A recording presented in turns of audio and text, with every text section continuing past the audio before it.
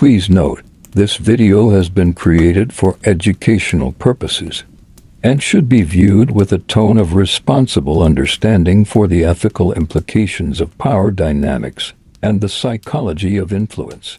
Welcome to Machiavellian Psychology, where we delve into the depths of human behavior and the art of influence. Today, we explore a tantalizing chapter from Robert Greene's The Art of Seduction, Stir Up the Transgressive and Taboo. In the realm of seduction, the forbidden and the taboo hold a powerful allure. Greene suggests that by breaking the norms and daring to venture into the forbidden, one can become irresistibly seductive. Throughout history, the most seductive individuals were those who dared to stir up controversy, to challenge the status quo. They understood that the allure of the taboo is rooted in its power to fascinate and shock. Greene explains that to seduce is to appear to offer a break from the ordinary, a plunge into the depths of the extraordinary.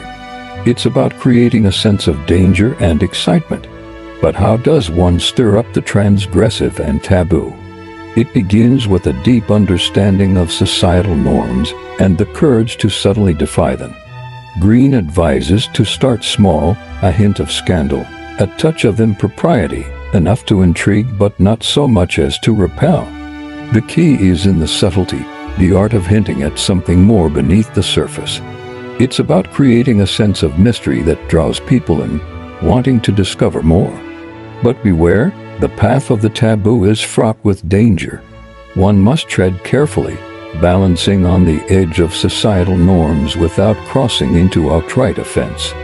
In conclusion, Greene's chapter on stirring up the transgressive and taboo reveals a powerful tool in the art of seduction. It's about daring to be different, to challenge expectations, and to create a magnetic allure that is hard to resist. Join us next time on Machiavellian Psychology as we continue to explore the intricate dance of human desire and persuasion. Until then, dare to stir the pot of the ordinary and perhaps Discover the seducer within you.